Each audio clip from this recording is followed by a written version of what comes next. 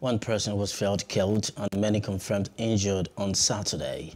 This was when armed thugs attacked the Soka residence of uh, Nation agitator Sunday Adeyemo that Sunday Igboho in Ibadan, State. Igboho's lead lawyer, Yomi Aliyu, confirmed the attack on Saturday. According to Aliyu, the armed thugs stormed Igboho's residence and macheted uh, the associates, leaving one of his aides dead.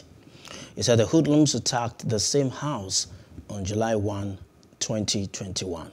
Hello, hope you enjoyed the news. Please do subscribe to our YouTube channel and don't forget to hit the notification button so you get notified about fresh news updates.